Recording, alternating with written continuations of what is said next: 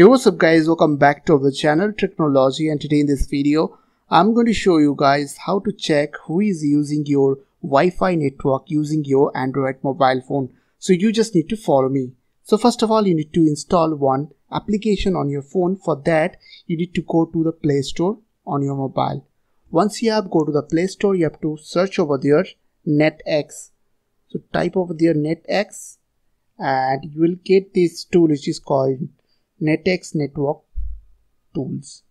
After that, you have to install this application on your Android mobile phone.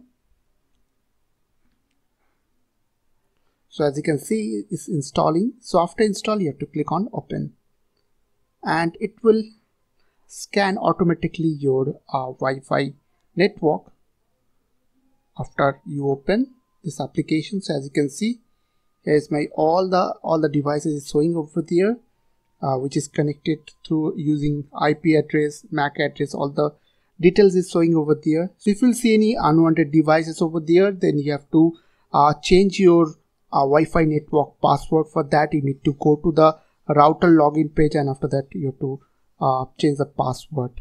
So I hope this small video will really help for you and please don't forget to click on the subscribe button, like button and share button. And if you have any questions or questions in comments down below, I will see you guys on the next one next video. Take care.